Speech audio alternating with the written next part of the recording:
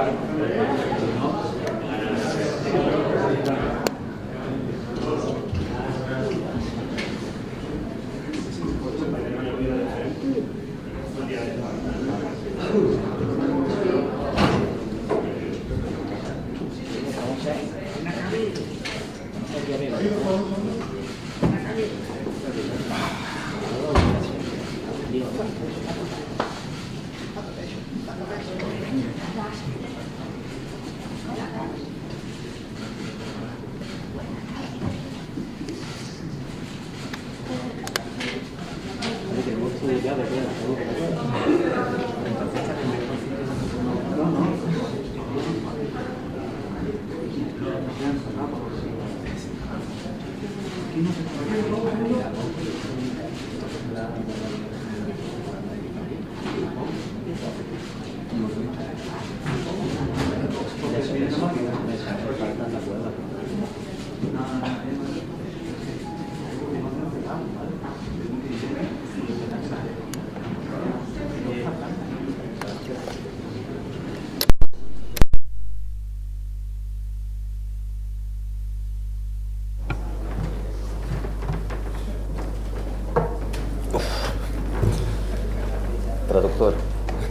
Buenas tardes compañeros, bienvenidos a la presentación hoy por partida doble de las nuevas incorporaciones malaguistas, Brezanchik, que él podrá ahora pronunciar mejor su nombre, y, y Werner.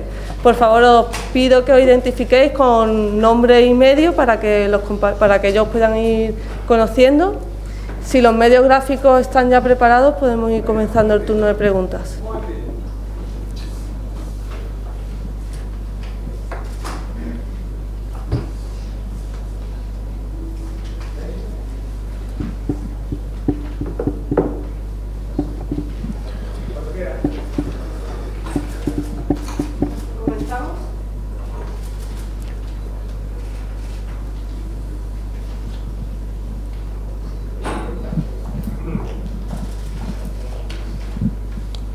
Buenas tardes a todos, soy Jesús Noguera desde el Marque Málaga. Quería preguntarle a Axel por qué eligió el Málaga en detrimento de otras ofertas que quizás sí le aseguraban más minutos de, de primera. ¿Por qué el Málaga?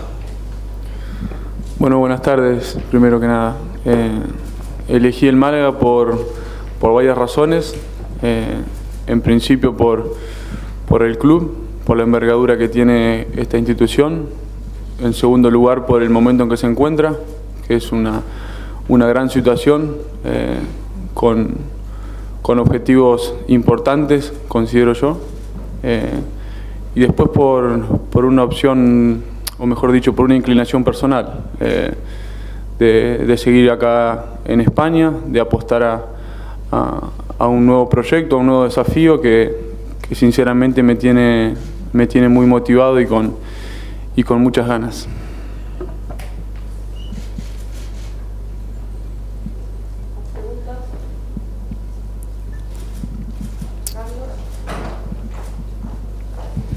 Hola, ¿qué tal? Soy Carlos Cariño de Las. Está para, bueno, la misma pregunta para ti, obviamente, ¿no? Vale, vale. ¿Puede español? Sí, perfecto. No, siempre preguntarte a qué fue lo que te decidió venir aquí a Málaga, por qué Málaga, si te costó mucho pensártelo. ¿Por qué Málaga? Porque esto es un club grande con, con mucho cariño. Yo venir aquí, quiero trabajar duro, quiero trabajar como siempre y quiero ayudar a estos compañeros y a esta ciudad para subimos en primera.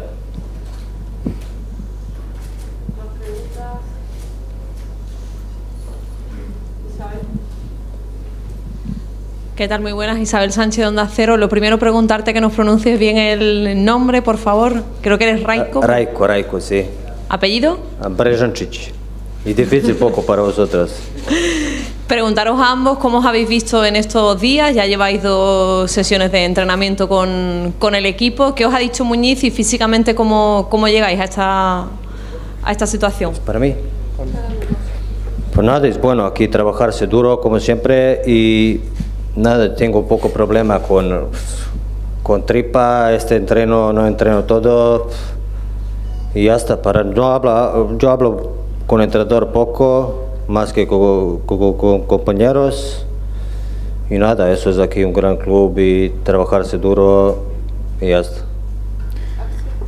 Por mi parte, eh, recién hace dos días que llegamos, pero lo que se puede percibir y, y ver en, en, este corto plazo es que hay una, una gran competencia dentro de, del grupo, que sin duda se ve plasmado en, en lo que es la, la, tabla de posiciones y el momento del equipo.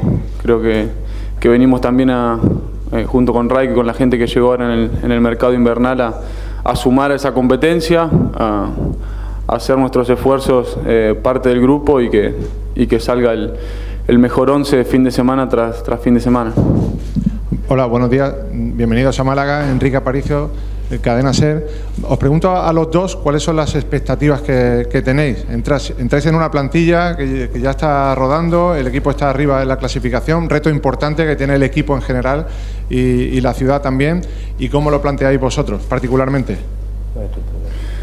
Las expectativas y, los objetivos en lo personal eh, son las más altas. Eh, venimos, como vos bien decías, a, un club eh, y a un grupo que, que si bien está armado, eh, siempre tiene, eh, considero yo, aspiraciones a, crecer más, a lograr a, a un, una mejor posición y, un mejor rendimiento. Eso se busca siempre, estando último, primero, segundo, tercero. y en este caso, por suerte, llegamos a una institución que, está en una en una posición óptima, entonces venimos a sumar y te reitero, eh, desde mi punto de vista y, y mi, mi, objetivo personal, las aspiraciones son, son las más altas. Yo quiero decir igual como Axel. Mejor. Eh, Pedro Luis Alonso de Sur, que, quería preguntarle a Raico, eh, bueno, hace unos meses tú subiste a primera división con el Huesca. Eh, actualmente ves la tabla de segunda división, ves a tres equipos igualados en cabeza con 44 puntos, ves a otro equipo con 43, otro equipo con 42. Está todo igualadísimo. ¿Qué consejo darías o cuáles son para ti las claves ahora para, para conseguir el objetivo? En, quedan casi creo 18 partidos. Sí, pues, como primero tenemos muchos partidos este segundo, 42 partidos y sí, yo el año pasado sube con Huesca y en esta segunda solo necesito miramos adelante y necesito primero ganar el partido en casa. Luego para afuera necesito, como nosotros aquí en Huesca, yo creo como aquí, este domingo necesito ganamos y necesito miramos solo adelante.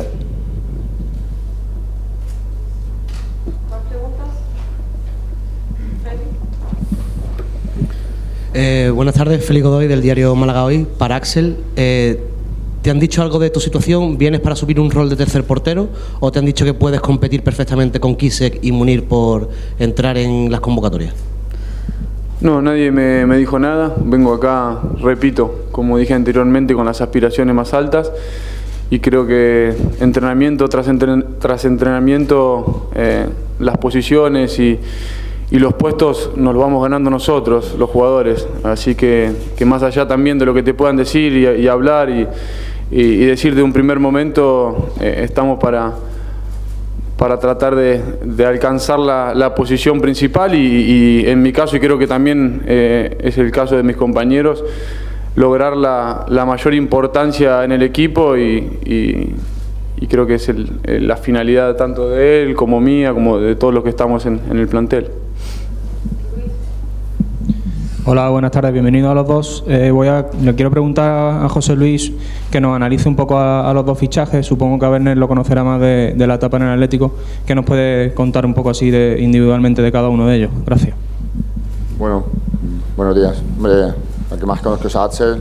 El año pasado tuve la oportunidad de estar todo el año con él. Es un, lo que acaba de decir él, es un portero que tiene muchas muy buenas cualidades que viene a competir un puesto, que aquí o te lo ganas todos los domingos o eh, no vale para nada lo que hayas hecho siete días anteriormente.